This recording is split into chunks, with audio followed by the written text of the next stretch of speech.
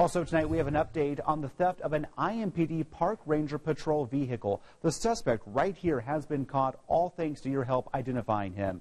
Police have arrested 34-year-old Benjamin Anderson. They say he stole the vehicle Saturday from the VA Medical Center on West 10th Street.